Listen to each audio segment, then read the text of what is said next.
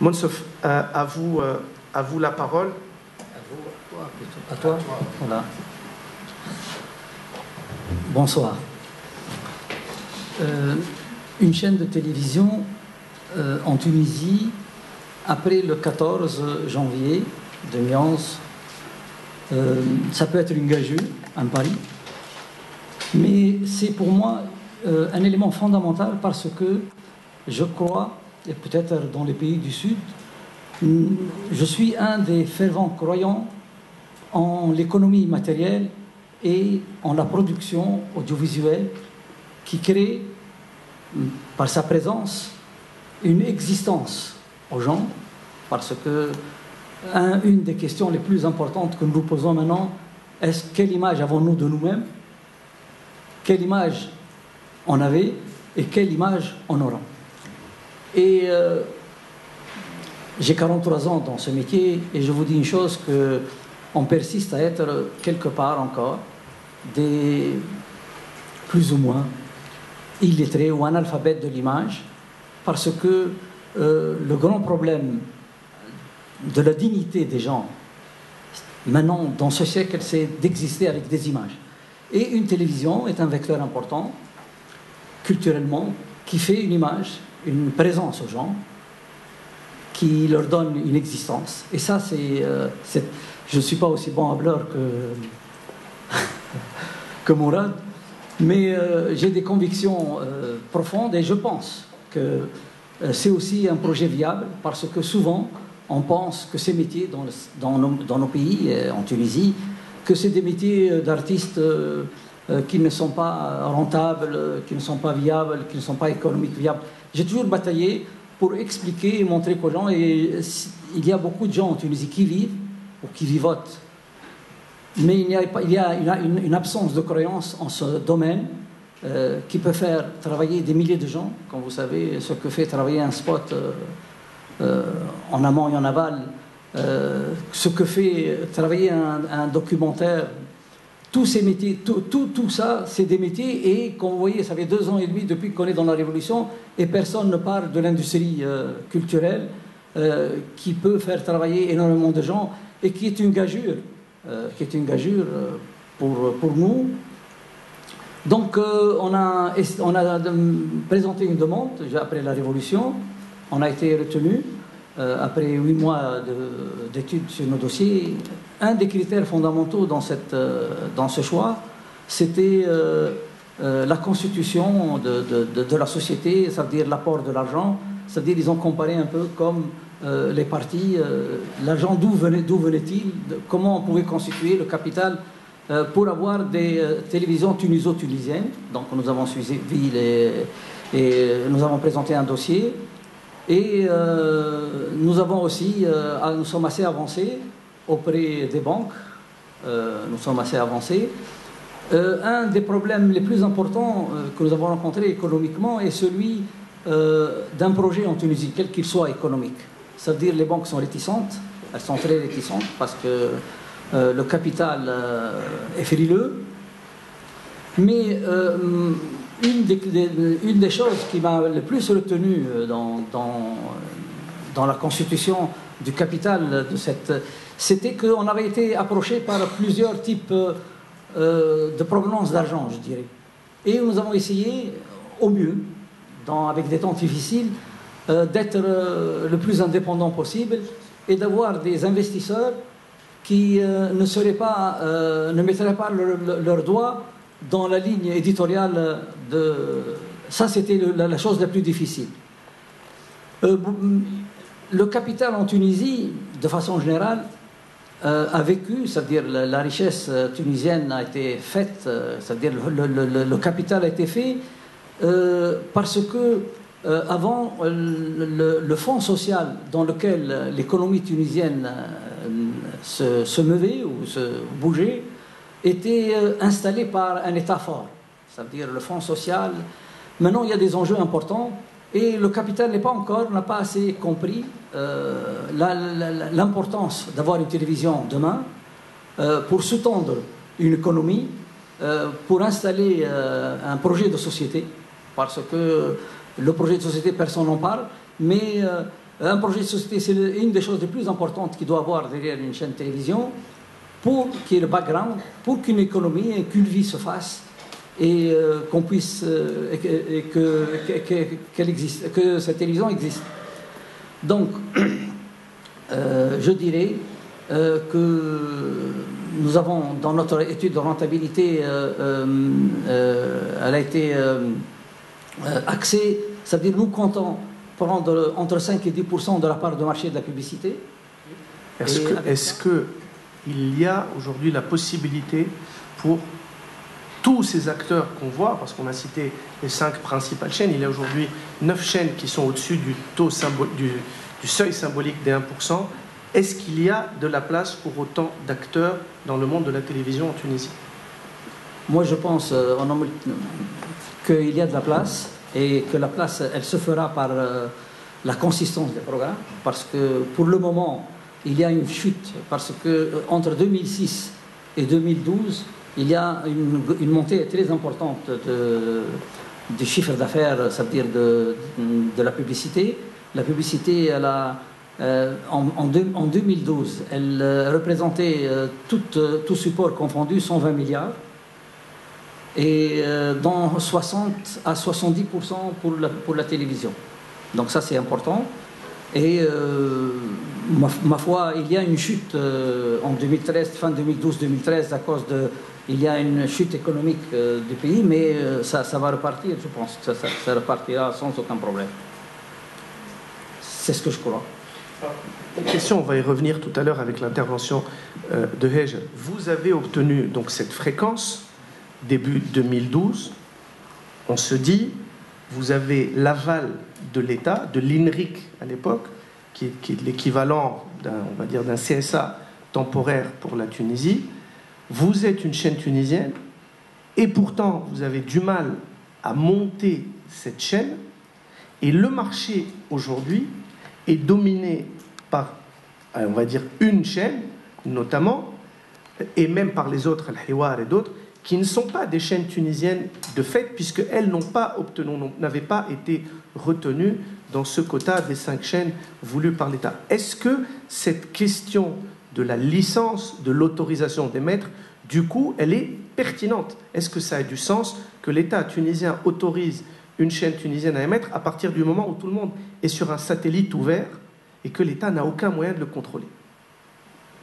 Bien sûr, c'est la, question clé. Et c'est ce, qui fait reculer un peu euh, nos actionnaires. Est-ce que, euh, dorénavant, est-ce que le futur, dans, le futur, euh, il y aura une, ce sera régi et quand ça commencera, cette euh, régulation, quand elle commencera, ça c'est pas sûr, on ne sait pas quand. N'empêche qu'il euh, y a aussi un comportement assez bizarre de, de, gens de l'État qui vont dans des télévisions qui n'ont pas d'autorisation. Pour les uns, ils donnent des autorisations et ils vont s'afficher dans, les télévisions ou qui, n'ont pas, de, licence. Donc, parce qu'il y a, il y a les, chaînes classiques, mais il y a des chaînes et quand les gens vont dans. Et, surtout, c'est des ministres. donc ça, ça, fait reculer un peu le capital. Les, gens du capital, pour le moment, ils disent est-ce que l'ordre sera rétabli ou pas? Mais moi, je pense euh, que c'est un problème de temps et que ce sera rétabli. Et que les choses. Parce qu'il y a un problème de crédibilité euh, minimum. Est-ce que, effectivement, l'opportunité. Moi, je pense qu'il y a une opportunité euh, dans cette histoire parce que l'avenir est pour les télévisions de proximité. Ça veut dire le satellite, euh, jusqu'à présent, il a installé auprès des gens une misère psychologique des masses. La misère psychologique, elle vient du flux, parce que les gens euh, pensent qu'ils ont une culture euh, télévisuelle en zappant, mais ça, c'est le chaos que chacun des individus porte à force de zapper. Il ne sait plus dans quel euh, espace il vit, il ne sait plus, euh, il, sait que le barrage va sauter euh, en Chine, mais dans son quartier, il ne sait pas qu'est-ce qui se passe. Donc la proximité va être très importante et aussi la charge. La charge parce que l'information est une charge. si je vous dis qu'hier je n'ai pas soupé, je vous informe, je vous charge d'une information même si vous ne pouvez rien faire, le fait que je vous le dise et que vous acceptez ce que je vous dit. Donc cette charge, les gens en ont marre. Les gens, ils veulent des télévisions euh, sérieuses. Ils veulent des télévisions qui donnent une consistance. Et euh, ils veulent euh, se retrouver dans, dans, la télévision, à la télévision. Et ça, ce n'est pas les télévisions satellitaires. Qui, on ne peut pas diffuser des choses ciblées, des, programmes ciblés sur le satellite alors que nous, on a besoin d'une euh, région donnée ou d'un espace donné. Ça, ça va être aussi euh, euh, quelque chose de très important pour, dans les années qui vont venir. Enfin, on va terminer, on va évoquer une, question avant de passer aussi avec. Est-ce qu'aujourd'hui, nous avons une industrie télévisuelle en Tunisie. Est-ce que nous en prenons le chemin Puisque vous êtes aussi producteur, vous êtes un homme de contenu? Est-ce qu'on en prend le chemin? Et sinon, pourquoi Et comment, justement, pouvoir créer, pourquoi pas, une dynamique qui peut être aussi une solution à tous ces problèmes de petitesse de la taille? Pourquoi ne pas avoir un, un Media City à Tunis comme il y en a à Dubaï, pour donner un exemple Même si ce n'est pas les mêmes réalités, évidemment. Euh, ça, c'est ce qui fait aussi euh, notre croyance euh, en notre projet parce qu'il y a de très grandes potentialités en Tunisie. Il y a un fonds, il y a, il y a des compétences, mais jusqu'à présent, l'État a installé, il n'a jamais voulu passer de l'État de la production artisanale à la production industrielle.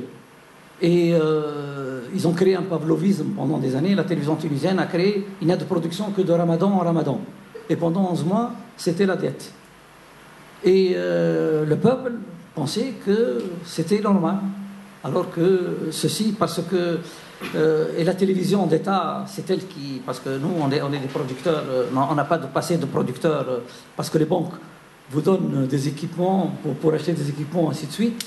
Mais on n'est pas arrivé au niveau des producteurs en Tunisie pour pouvoir faire des programmes et partir les vendre dans les autres pays, à l'étranger. Donc, on est resté à la commande tunisienne mais la commande tunisienne et la qualité des produits euh, en Tunisie, euh, quand vous prenez euh, les 20 dernières années, elle était très honorable, sans liberté d'expression. Donc elle pourrait être mieux.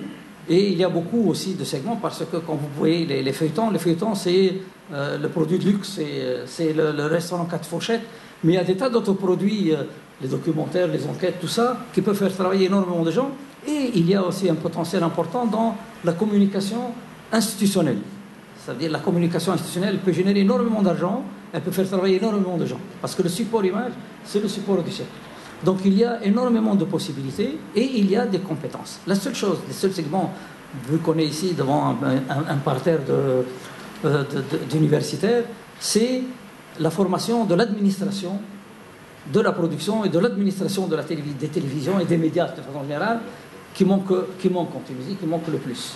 C'est des spécialités euh, pointues et euh, il faut une connaissance pointue et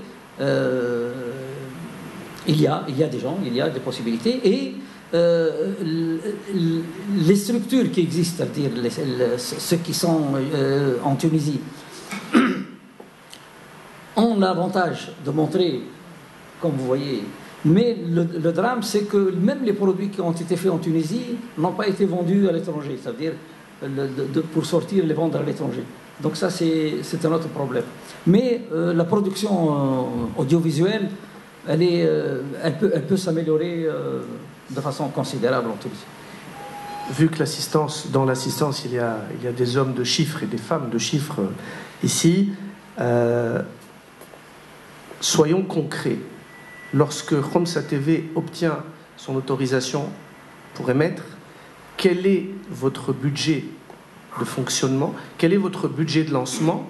Quel est votre budget de fonctionnement Et quelles recettes publicitaires escomptez-vous? Et ça ne sortira pas de la salle, évidemment. Je plaisante. Ça y est pas, il y a des secrets de polichinelle. Si, euh, euh, maintenant, euh, vous savez, la, technologie progresse dans le monde. Et la technologie, elle, a cet avantage pour les pays du Nord et les pays occidentaux euh, d'être démocratisée. Souvent, cette démocratisation, elle est considérée au Sud comme étant une clochardisation ou une banalisation de, l'outil. Je, m'explique.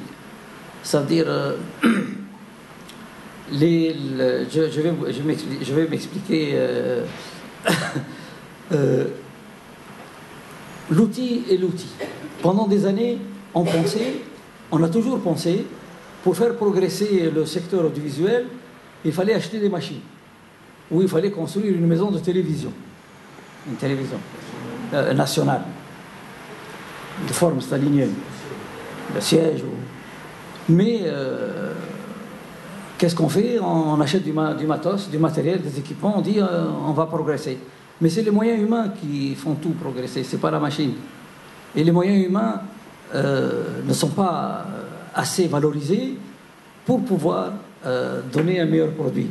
Et le drame, le drame, euh, c'est que je vais euh, vous paraître, euh, c'est que nous, on a on voulait commencer, on voulait pas faire une télévision,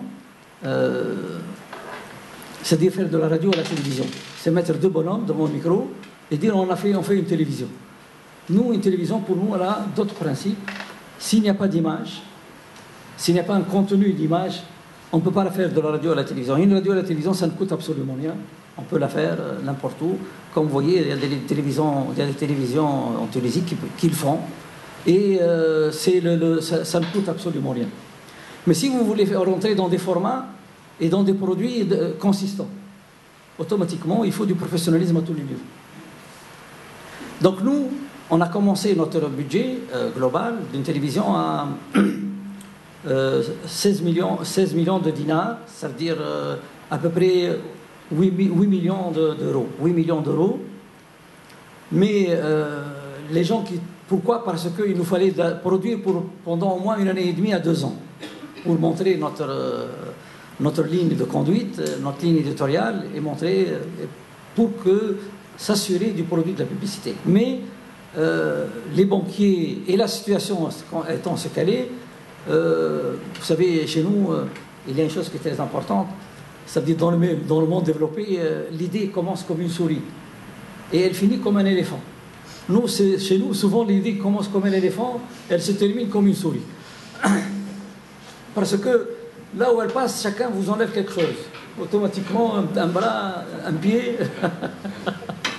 donc, donc nous, on a ramené notre, notre chaîne à, à, à 6 millions d'euros. À 6 millions d'euros, c'est-à-dire à, à- à 11 milliards euh, tunisiens, de dinars tunisiens. Donc un lapin. Hein? Un lapin, pas une souris. Exact, c'est- un entre-deux.